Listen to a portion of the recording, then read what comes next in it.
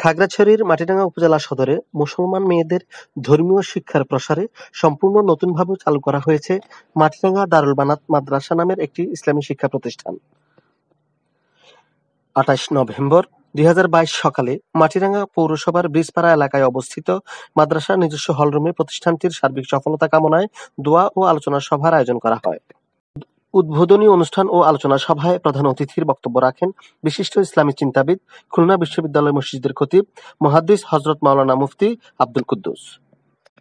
তিনি বলেন, মেয়েদের পর্দা রেখে সুন্দর পরিবেশে ইসলাম শিক্ষা দেওয়ার উদ্দেশ্যে পার্বত্যাঞ্চলের এই জনপদে এমন আধুনিক মানের একটি মাদ্রাসা প্রতিষ্ঠা করা সত্যি মহৎ চিন্তাভাবনার বহিঃপ্রকাশ। আগামী প্রজন্মকে দিনদার মুসলমান হিসেবে গড়ে তুলতে মেয়েদেরকে ইসলাম শিক্ষা দেওয়ার কোনো বিকল্প নেই মন্তব্য করে তিনি স্থানীয় আলেম ও ওলামা সম্প্রদায়ের প্রতি প্রতিষ্ঠানটির সফলতায় সার্বিক সহায়তা কামনা করেন।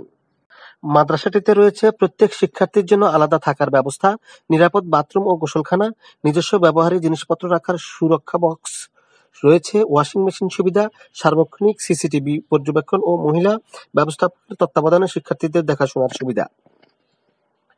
মাওলানা আক্তার হোসেন ফারুকীর উদ্যোগে আর নতুনপাড়া জামে মসজিদের পেশ ইমাম মুফতি আব্দুল হান্নানের সঞ্চালনায় উদ্বোধনী অনুষ্ঠানে অন্যান্যের মধ্যে বক্তব্য রাখেন মাটিরাঙ্গা কেন্দ্রীয় মসজিদের খতিব আলহাজ মাওলানা হাফেজ কারি হারুনুর রশিদ আজিজি, জালিয়াপাড়া কেন্দ্রীয় জামে মসজিদের খতিব মুফতি নোমান ও বাইলাছড়ি জামে মসজিদের ইমাম প্রমুখ।